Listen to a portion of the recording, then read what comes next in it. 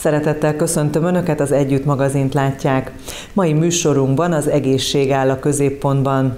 Elsőként ellátogatunk a Fehérvári orvosnapokra, majd egy kicsit belecsöppenhetünk az onkopszichológia világába. Végül pedig megtudhatjuk, hogy miért és hogyan alakul ki az apu, illetve anyutestünk, és mit tehetünk ellene. Tartsanak velünk! 12. alkalommal rendezték meg a Fehérvári Orvosnapokat. A konferencia legfontosabb témája ezúttal a sürgősségi ellátás volt.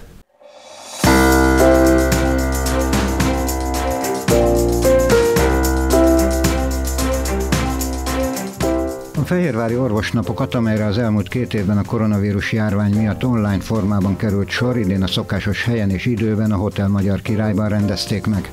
A kétnapos konferencia megnyitóján elhangzott, a járvány időszaka a betegellátásban sok, részben korábban is meglévő jelenséget hozott felszínre. Ezek közül a mostani találkozó témájának a sürgősség kérdéskörét választották. Nagyon szép hagyománya az orvosnapok Székesfehérváron, főorvosúréknak köszönhetően most már több mint egy évtizedes hagyomány, évről évre nagyon fontos témákkal, és egyben egy konzultációs lehetőséggel az adott szakorvosok felé és részére, beleértve a kórházi és beleértve az alapellátásban dolgozó szakembereket. Idén pedig szerintem különösen izgalmas témát találtak az orvosnapok vonatkozásában, hiszen a sürgősségi betegellátás az legalább két ok miatt kiemelt kérdéskör Fehérváron jelenleg. Az egyik, hogy a Szent György Kórház SBO-ja, sürgősségi részlege az országban, ha jól emlékszem, a 365 napból 360 napon a leglátogatottabb, beleértve a budapesti kórházakat is. Ami nyilván felveti azt a kérdést, hogy, hogy mi lehet ennek az oka, és jó lenne, hogyha a szakemberek is, és ez a fórum erre lehetőséget biztosít, átgondolnák, hogy, hogy mi, mi lehet, ami miatt ennek ez lesz a következménye. Másrészt pedig, hogy tudjuk, hogy a parlament elfogadott egy új jogszabályt, és az új jogszabályi környezet, ez változtatni fogja az ügyeleti rendszert, a házi orvos és alapellátás rendszerét, és ez értelemszerűen a mentőszolgált bevonása okán is érinteni fogja a sürgősségi betegellátást is. Én úgy látom, hogy van ennek előremutató eleme, például az ügyelet tekintetében, de vannak olyan kétségek, úgy tudom, mind az alapellátásban, mind a kórházi ellátásban dolgozó szakemberek tekintetében, amit fontos lehetne tisztázni, és az önkormányzatok vonatkozásában is, hiszen például a Megyei Városok Szövetség az letett egy, egy javaslatcsomagot, hogy hogyan lehetne ezt a rendszert úgy finomítani, hogy abból az alapellátás, az ügyeleti ellátás és egyáltalán a sürgősségi betegellátás számára is egy jobb helyzet alakulhasson ki. A konferencia fő kérdése, hogy mely betegellátási helyzet sürgős, és mi az, ami várhat, és ami várhat, az meddig várhat. A konstruktív szakmai beszélgetéseken a kórház ellátó egységeinek vezető szakorvosai bemutatják, hogy milyen lehetőségek állnak rendelkezésre a szakorvosi konzílium szükséges időben történő biztosítására, és azok mikor és miként vehetők igénybe. A Fehérvári Orvosnapok programját én évek óta követem, és azért dicséretes, mert mindig valamilyen aktualitáshoz kapcsolódnak, arra fűzik fel a témát. Most a sürgősségi betegellátás. Ugye mindig, minden évben, amikor megvolt a kongresszus, eldöntjük a következő évi témát, és annak ellenére, hogy akkor még nem láttuk azt a kormányzati akaratot, ami van, mégis ezt a témát adtuk, és decemberben ugye a új egészségügyi törvényben is ez a téma, az alapellátási ügyelet, az sürgősségi osztály terheltségének a csökkentése, megerősítése, és ez már nagyon váratott magára, és ugye el is indult az országba február elejétől Hajdúbiharba, aztán márciustól a két szélső megyébe, Győr, Moson, Sopron megye, illetve Szabolcs, Szatmár, Bereg megye, és decemberre ide ér hozzánk. Tehát nálunk is a járási székhelyeken az alapellátási ügyelet ki fog alakulni, a sürgősségi osztályok mind a két kórházban, a Szent György kórház, illetve a Szent Panteleon kórház meg lesz erősítve, és várhatóan ezzel tényleg olyan betegekkel fog foglalkozni a sürgősségi osztály, amivel foglalkoznia kell. És azok a betegek, akik az alapellátásra tartoznak, azok a járási székhelyeken vissza lesznek tartva, illetve ha mégis bejönnek a sürgősségi osztályra, akkor a megerősített, családorvossal megerősített, alapellátással megerősített sürgősségi osztály gyakorlatilag csökkenti azoknak a kollégáknak a megterhelését, akik valóban a sürgősségi betegekkel foglalkoznak, a rászorulókkal. Az előadások és a konzultációk nem elsősorban a sürgősségi betegellátást magát, hanem a betegellátás során felmerülő sürgős szakorvosi konzultációk biztosításának lehetőségeit tárgyalják. A szakorvosi konzultáció elsősorban az alapellátó orvos beutalója alapján történik, de egyes jogszabályon meghatározott ellátásokhoz nem szükséges beutaló. A mostani konferenciát nem igazán a sürgősségi betegellátásról, hanem a sürgősség a betegellátásban kérdés.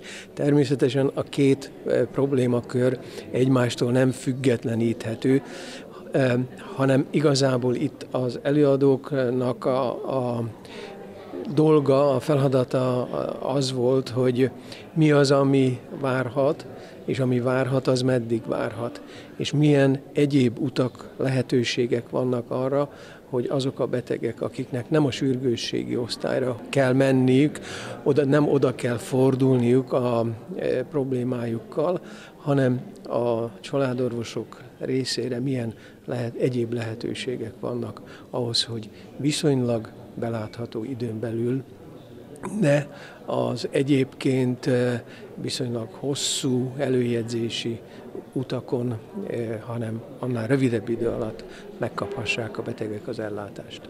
Megvan arra a lehetőség, hogy ezt a felépítést megvalósítsák, bevezessék rövid időn belül?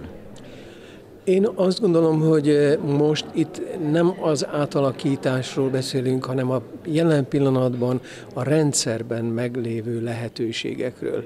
Gyakorlatilag eh, azt tapasztaltam a, a az előadókkal való beszélgetés során, hogy minden szakterületen megvan a lehetőség arra, hogyha eh, a betegnek mondjuk egy két-három héten belül, de akár arra is, hogy másnap vagy harmadnap szükség van arra, hogy or- szakorvos elé kerüljön, akkor ennek eh, a, a, erre a lehetőséget megtalálják a családorvosok.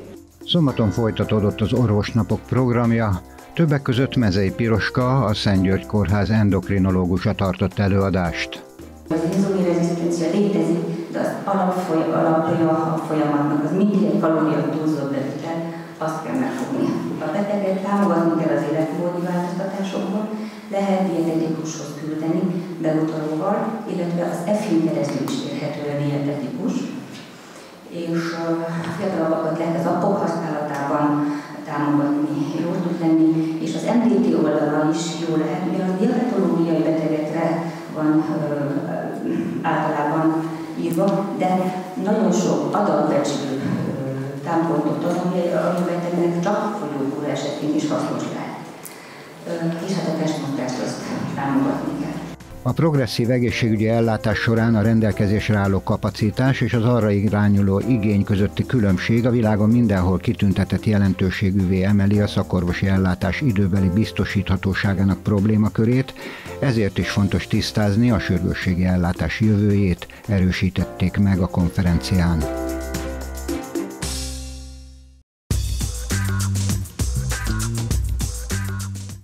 Vendégem a stúdióban Pályár Alexandra, onkopszichológus, akivel arról fogunk beszélgetni, hogy mit is jelent ez az onkopszichológia önmagában, és hogy miért van erre szükség, hogy néz ki az ő munkája. Köszöntelek itt a stúdióban. Hát nagyon fontos témáról fogunk beszélgetni, és én azt gondolom, hogy tényleg nagyon jelentős, hiszen én nem tudom, hogy korábban volt-e ilyen mondjuk a kórházban, de hogy, hogy erre mekkora szükség van, azt, azt talán nagyon sokan tudják. Kicsit tegyük helyre az elején a kifejezést. Mit jelent ez, hogy onkopszichológus? Hát az onkopszichológus, ez egy, hát egy nagyon speciális terület így magán a pszichológián belül. igazából egy olyan pszichológus, aki, aki nagyon így speciálisan daganatos betegekkel foglalkozik, daganatos páciensekkel ami azt is jelenti, hogy nem csak magával így a pszichés tényezőkkel van tisztában, hanem, hanem így a szomatikus oldalával is, hogy a kezelésekkel, a kemoterápiával, a sugárterápiával, tehát hogy egy, egy ilyen sokkal komplexebb szemléletet igényel, meg nagyon nagy rugalmasságot is. Alapvetően a testi, testi betegségre fókuszálunk, és hogy az hogyan hat a lélekre, megfordítva. Uh-huh. Um, igazából ami az onkopsziológus célcsoportját a, a daganatos paciensek, akár a diagnózis közléskor, a kezelések alatt, a kezelések után, műtétek előtt, műtétek után, uh-huh. sugárterápiás felkészítő csoportokban, vagy bármilyenben, ami igazából ebbe a folyamatba beleilleszkedik. Uh-huh. Tehát egy nagyon ilyen specifikus uh-huh. Terület. Sokan tudják rólam is, hogy én is átestem egyfajta betegségen, és azért is merem megkérdezni ezt, mert tudom azt magamról, hogy amikor az ember egy diagnózissal szembesül, az mekkora lelki csapást jelent. Igen, igen. És hogy tényleg az, hogy valaki esetleg ott van, a, és fogja a kezét, vagy esetleg ezen az úton néha-néha ott van valaki, aki segít, ez egy hatalmas nagy segítség. Hogy kell ezt elképzelni? Mert annak idején, amikor én nekem kellett ezzel megküzdeni, én nálam még sajnos nem volt ilyen segítség, tehát tényleg, amikor mondjuk az orvos közli a daganatos beteggel, hogy mi a helyzet, akkor ott ülsz, és elmondott te is, hogy nem kell megijedni, vagy hát gondolom biztató szavakat mondasz, és akkor utána elkezdesz vele foglalkozni lelkileg? Um, ez nagyon egyénfüggő, meg azt gondolom, hogy így uh, uh, magától a daganat típusától is függ, hogy, hogy ki az az kezelőorvos, aki először közli vele, vagy hol derül ki. Nem mindenhol van lehetőség mondjuk arra, hogy én is ott legyek, mert van, hogy mondjuk valaki bekerül a sürgősségi osztályra tünetekkel, és akkor hirtelen ott derül ki, és akkor utána kerül az onkológia ellátásba, hogy, hogy inkább úgy szokott ez zajlani nálunk, hogy mm, hál' Istennek az onkológus orvosaink nagyon, nagyon érzékenyek erre a témára. Ők szokták így nagyon nyugodt körülmények között mm, átbeszélni a pácienssel, a, a diagnózis közlést, a, a kezelési tervet, és legtöbb esetben felszokták ajánlani azt a segítséget, hogy, hogy az osztályunkon van onkopsziológus is, és hogy az ő, az ő támogatását is igénybe veheti. Illetve ami, ami az osztályvezetőnek egy, egy nagy újítása, hogy a, az onkotím döntésére ott ugye rajta vannak a szakemberek nevei, és hogy az én nevem is rákerült, mint pszichológus, és hogy azzal is már így jelezzük, uh-huh. hogy, hogy ott, van a, ott van a pszichológus az osztályon, és hogy a, a csapat része. Um, általában vagy a diagnózis közléskor, vagy így leggyakrabban egyébként a folyamat során uh, keresnek meg a paciensek, uh-huh. és a kezelőorvosok javaslatára, hogy így a konzultációk alatt látják, hogy mi az a pont talán, amikor így, így jól esne a, a, a plusz támogatás is. Uh-huh. De van, aki saját maga már nagyon motivált, és az elején ő, ő megkérdezi, hogy van erre lehetőség. Uh-huh. Igen. Mi történik egy-egy ilyen foglalkozáson? És hát, hogy, hogy kell elképzelni, hogy most ennek van egy gyakorisága, uh-huh. vagy uh-huh. akkor van? Igen, igen. Hogy ez is nagyon egyéni, egyénfüggő. Um, osztályon is dolgozom, betegágy mellett az onkológián, olyan páciensekkel is, akik mondjuk, akkor innen indítom, akik mondjuk hosszabb kezelésre fekszenek be, akkor mondjuk öt naposra, akkor általában ilyen két naponta szoktunk találkozni. Van, aki azt kéri, hogy csak az osztályon találkozzunk, van, aki amikor kemoterápiára jön, mondjuk egy naposra, akkor akkor találkozzunk, és akkor én felmegyek az osztályra, amikor ő itt van, vagy van, aki azt kéri, hogy akkor is, amikor kemoterápiára jön, vagy akkor is, amikor nincs kezelés, de hogy az ambulancián ugye kettesben vagyunk, és ugye van, aki csak a szakrendelésre jön hozzám. Általában hetente vagy két hetente szoktunk találkozni a páciensekkel, akik a szakrendelőbe járnak hozzám, ők heti vagy két heti gyakorisággal, akikkel pedig osztályon találkozunk, ők hát ahogy jön a kemoterápia, de általában két vagy három hét az, amikor találkozunk, uh-huh. és akkor egy intenzívebb, akkor mindkét nap akár, akik ilyen egy-két napos bentfekvésben vannak.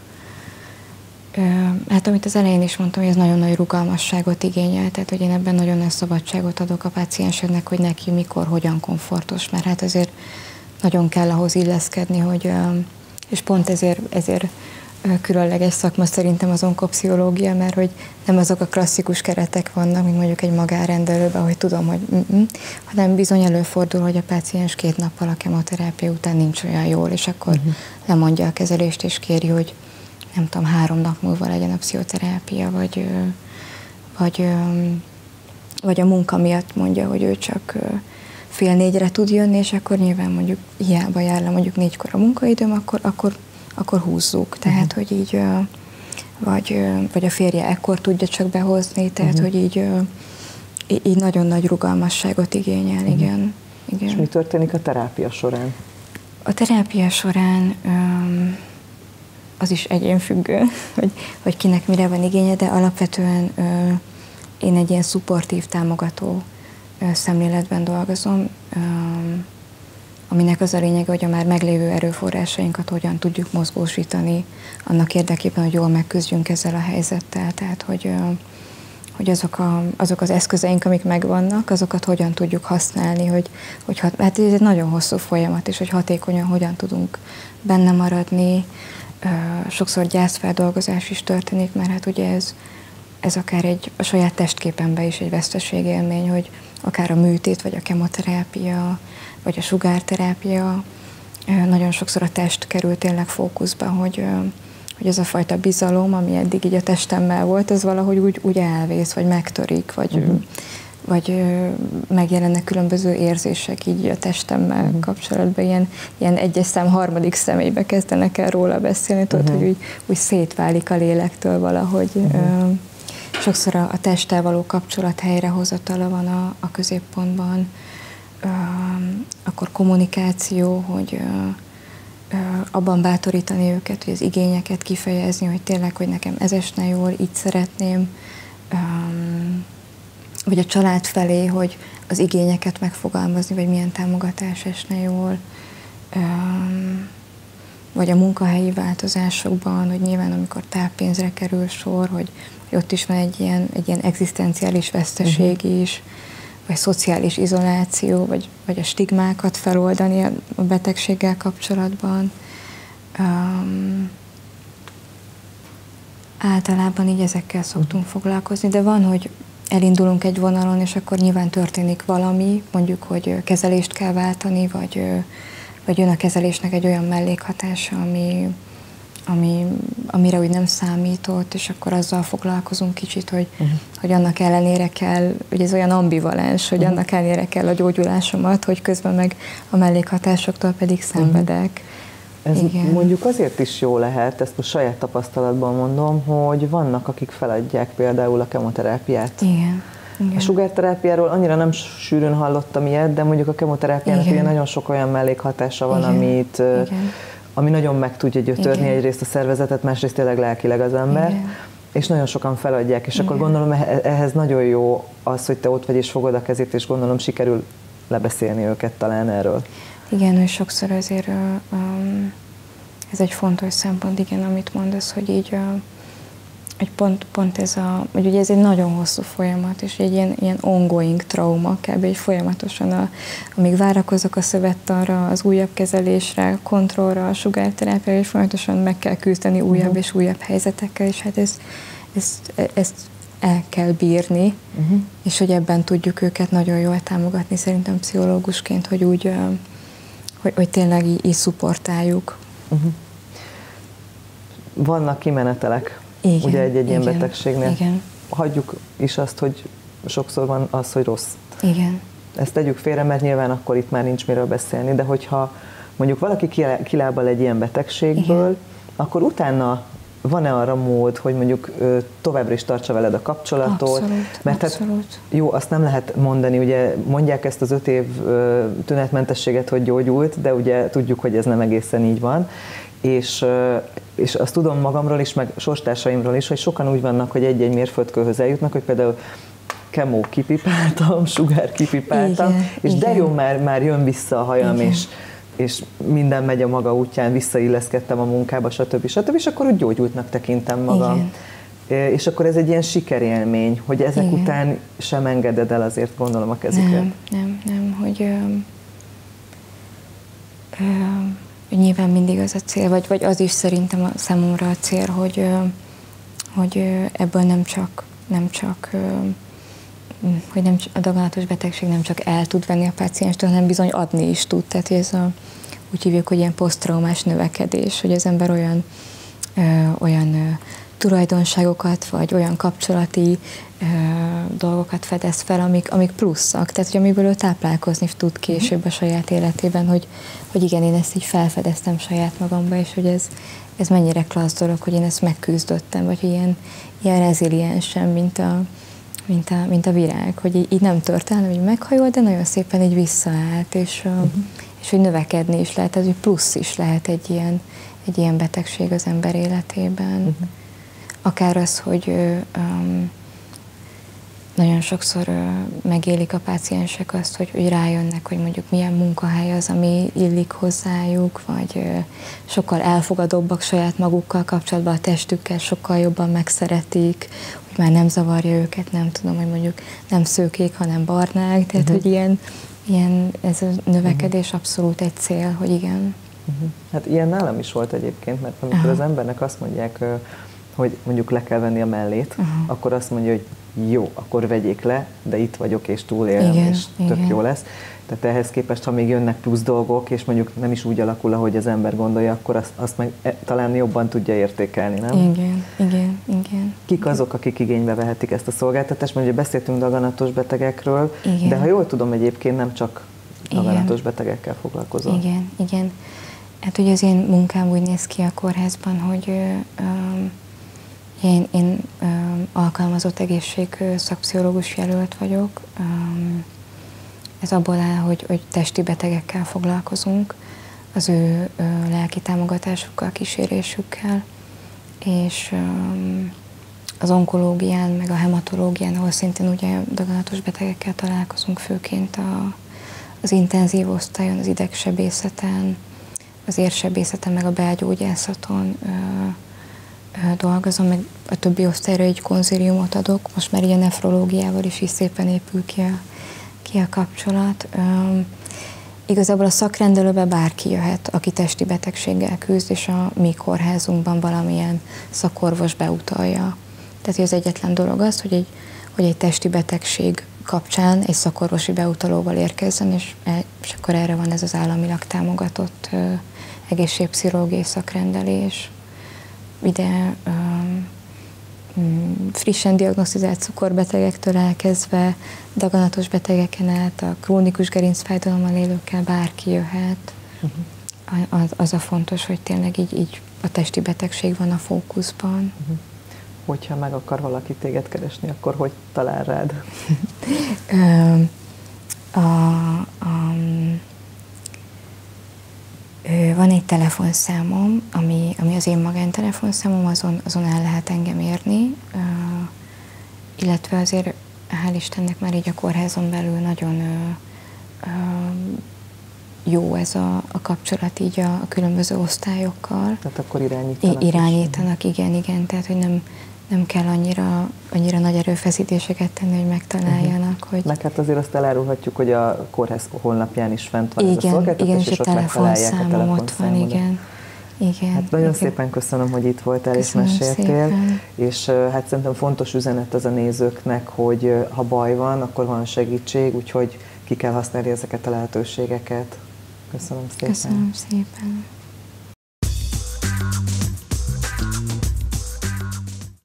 Bizonyára sokakat foglalkoztat az, hogy mitől és hogyan alakul ki az apu, illetve anyu testünk, és mit tehetünk ellene. Séda Zoli összeállításából válaszokat kaphatunk a kérdésre.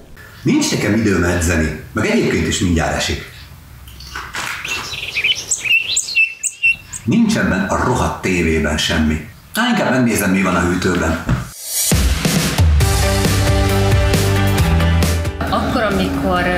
Családot alapít és gyerekeik lesznek, hogy kicsit elengedjük magunkat, és ebből alakult ki ez a slang, hogy a testalkatunkra, hogy anyutest és aputest egy kicsit ugye pocakosodunk, de sajnos a statisztika Magyarországra még, még rosszabb, és főként a gyerekekre. Az, hogy mitől hízunk, mindegy, hogy mondjuk a, a felnőtteket, vagy pedig a fiatalokat nézzük, az idő, mindenki ide, időhiányban szenved. Tehát amire a család előtt volt időnk, a család után már nem lesz, mert főzni kell, tanulni kell a gyerekkel, mindenkinek van dolga, és egyszerűen elfelejtünk magunkkal foglalkozni szó szerint. És nem mindegy, hogy mennyit teszünk. Nincs az az igénybevétel a testünknek ebben a korban, ugye amikor már anyutest és aputestről van szó, mint, mint fiatalon, és ugye az a plusz kalória, az sajnos a testünkön meglátszik. Az, hogy valakinek nincs ideje edzeni, ha valaki szeretné, akkor tud magának teremteni időt arra, hogy edzen. Nem feltétlenül kell most konditeremre gondolni, de most már az online világban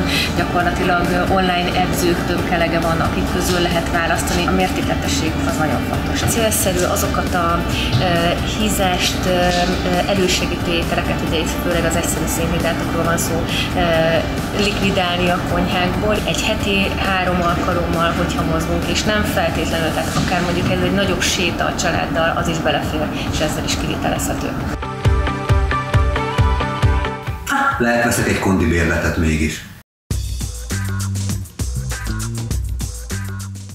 Ez volt már az Együtt magazin, tartsanak velünk legközelebb is, szép estét kívánok, viszontlátásra!